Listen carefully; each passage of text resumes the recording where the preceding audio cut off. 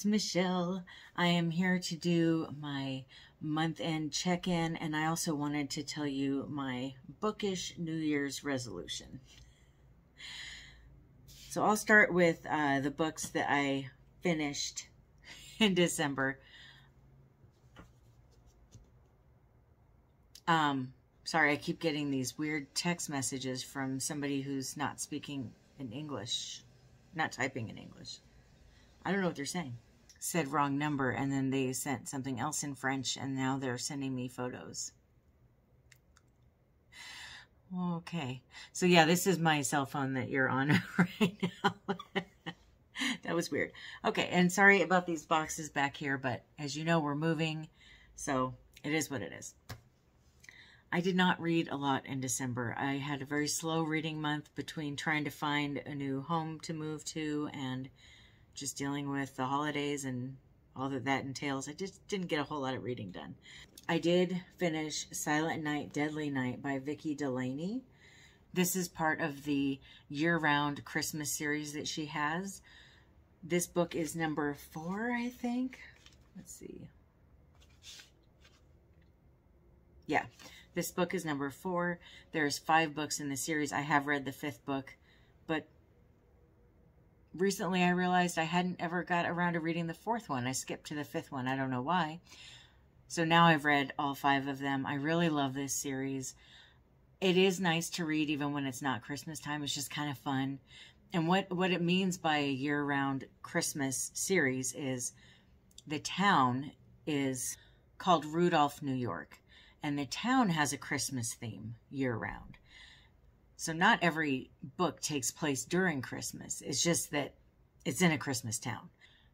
The protagonist is a lady named Mary, and she owns a Christmas gift shop where she sells ornaments and jewelry and all that kind of stuff.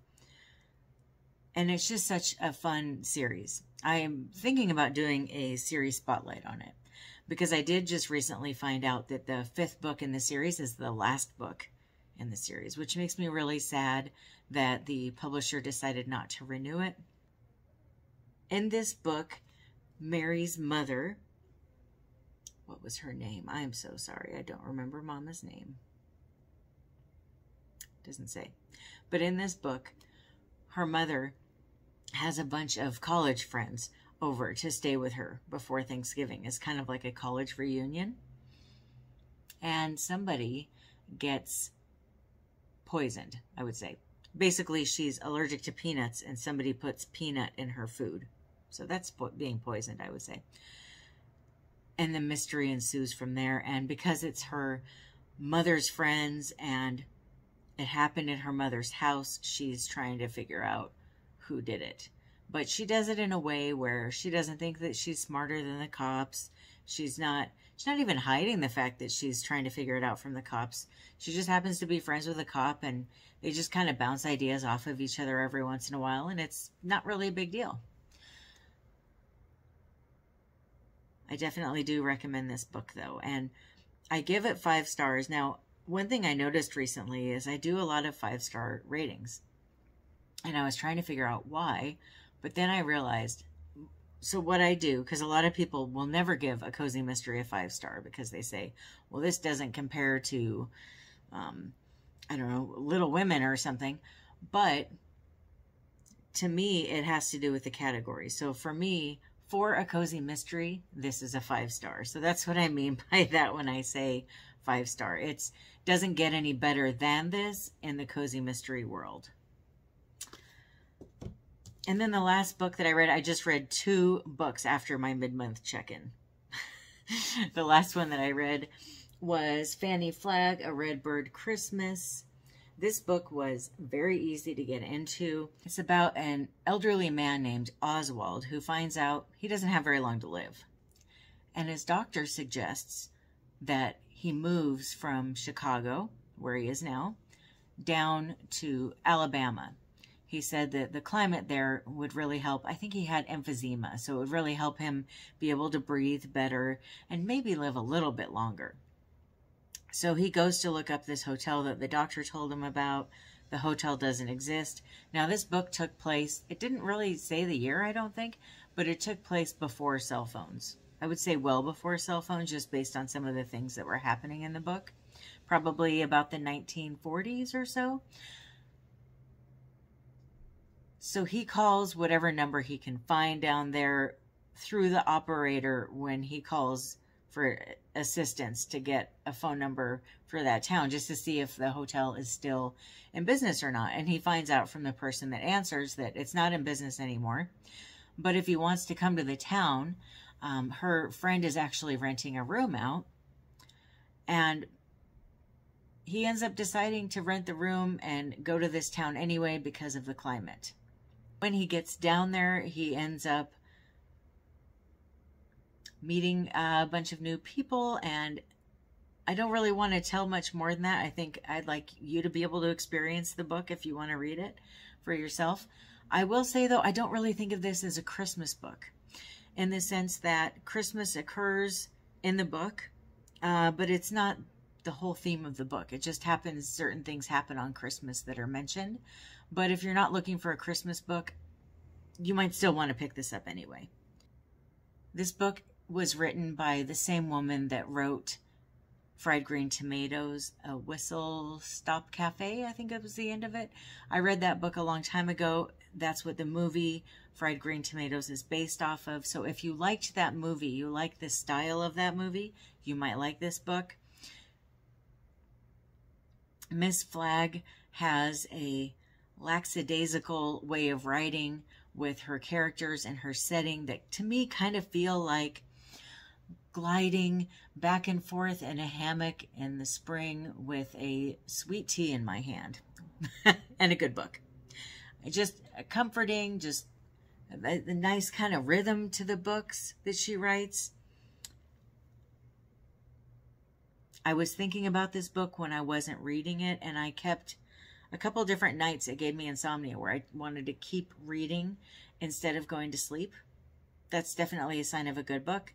The characters were unique and flawed and human, and I love that. I don't like perfect characters. I don't think many of us do. There was also a bunch of Southern recipes in the back of the book, which I'm not going to complain about. I give it five stars. I know, I know, another five-star book, but but it was so good. I really recommend it. I did want to mention I did the Merry Bright Readathon, and I did a vlog, and I said part one. I ended up not doing part two. Well, I did, but I hated it, so I deleted it. So there is no part two. But that's all you would have seen in part two is those two books. Um, I was just in a really grouchy mood. I was having a lot of migraines, and I just didn't want to film. So when I did, it was like not very fun to watch. My New Year's reading resolution is that I want to read more classics, and the goal is to read 12 classics in the year 2022. I want to read one each month. Last year, I had said that in my mind, but I never really read 12 classics. I don't know if I read many at all, if maybe one or two. So I want to really make a concerted effort to read 12 classics. I wanted to tell you what they are. In January, I plan on reading Little Women by Louisa May Alcott. This was originally a two volume book that was published in 1868 and 1869, and then it was later made into a novel, a full size novel, as you can see. It's 759 pages long, and this is a coming of age story about four sisters during the Civil War and it's actually, I found out, loosely based on the author and her three sisters. For February, I want to read Silas Marner by George Eliot. This book was actually written by Mary Ann Evans in 1861, but she published it under the pen name George Eliot so people would read it. it's 262 pages long Wrongly accused of theft and exiled from a religious community many years before, the embittered weaver, Silas Marner, lives alone in Raveloe. Existing only for work and his precious hoard of money, but when the money is stolen and an orphaned child finds her way into his house, Silas is given the chance to transform his life. His fate and that of the little girl he adopts is entwined with Godfrey Cass, son of the village squire who, like Silas, is trapped by his past. So definitely let me know if you've read any of these books.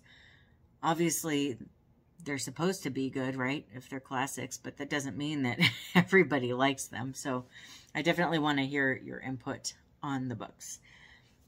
The next one is Of Human Bondage, and this one is for March by William Somerset Maugham. It's 615 pages long, and it was published in 1915. This is another coming-of-age book.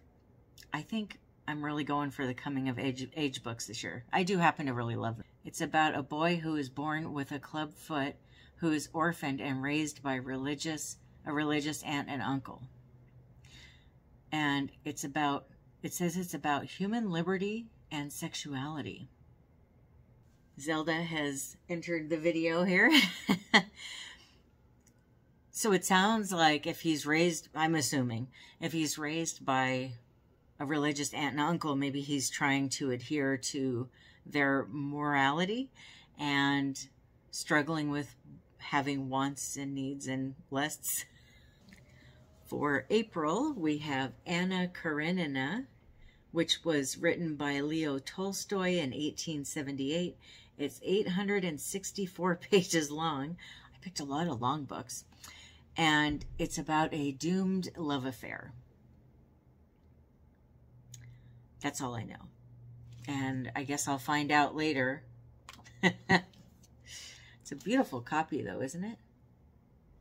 Any of the books that I'm talking about that I don't physically have, I have ordered. I'm just waiting for them to arrive. Great Expectations by Charles Dickens. This one was published in 1861 and it's 544 pages long. This is another coming of age story um, about an orphan named Pip. The only other things I know about it are from the movie, which I'm sure is quite different than the book. The Color Purple this book was written by Alice Walker in 1982 and it's 283 pages long. It's, you guessed it, a coming of age story about a 14 year old girl named Celie who is being abused and raped by her dad and trying to protect her sister from the same fate. I have seen the movie multiple times and I absolutely absolutely love the movie. Um, it was actually something that my mom took me to see in the theater. And I've had a few people ask, wow, your mom let you watch that at that age, or your mom let you read that at that age. And the truth is, I have a mom that never wanted to shield me from reality.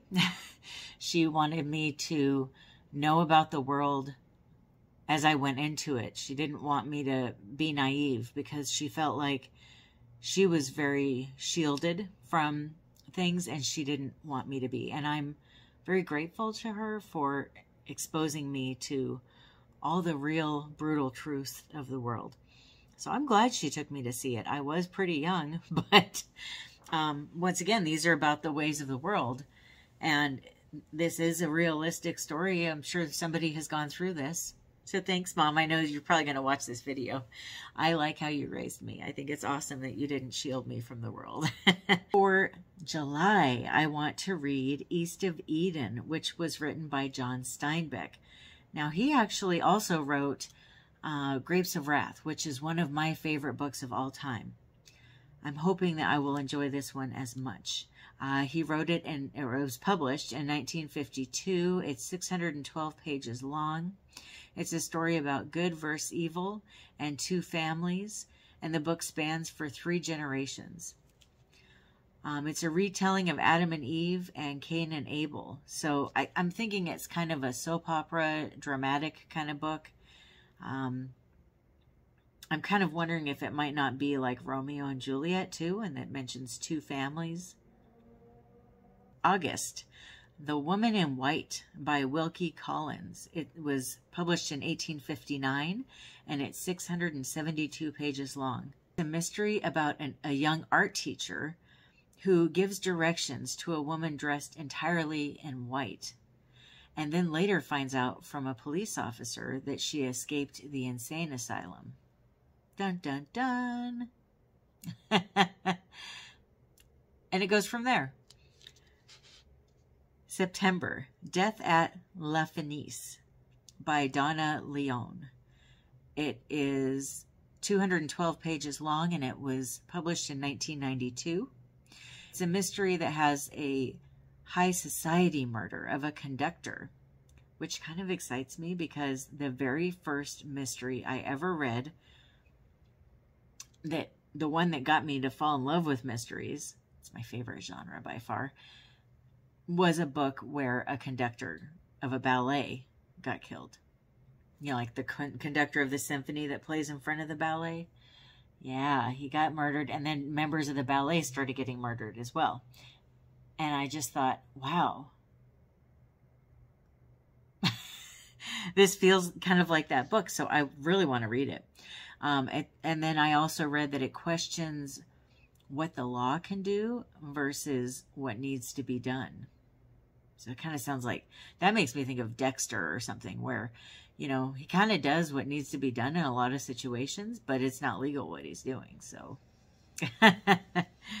October, Moby Dick by Herman Melville. It's 427 pages long. It was published in 1851.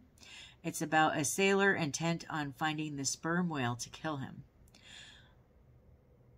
I honestly don't really have a lot of interest in reading this book, but my husband said that he really thinks I would like it.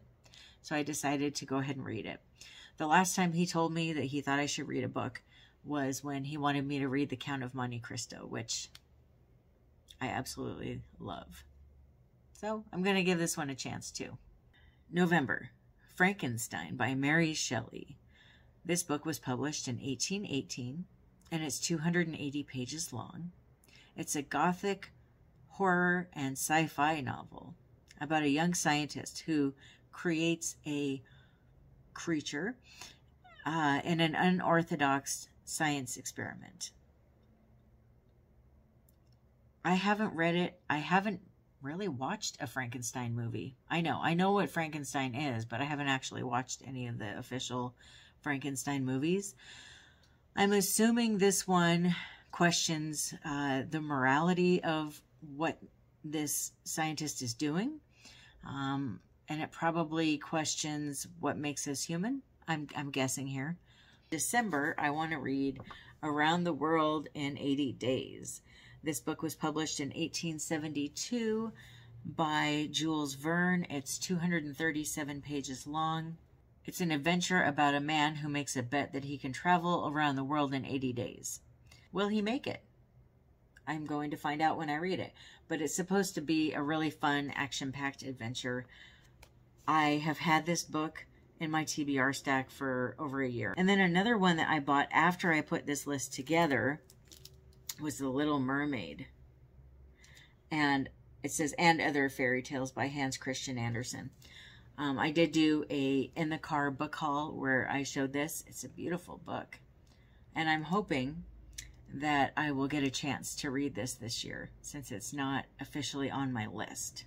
I just saw it and had to have it. I thought it was beautiful. Who wouldn't want this book in their collection, right? It'll look so pretty. So that's it. That is my classic book um, New Year's resolution list. Hopefully I stick to it. Maybe you guys can help hold me to it. but let me know if you've read any of these and what you thought, or if you read the other two books that I mentioned um, in my wrap up. Thank you so much for watching. I hope you have a wonderful rest of your day or night. Happy reading. Bye.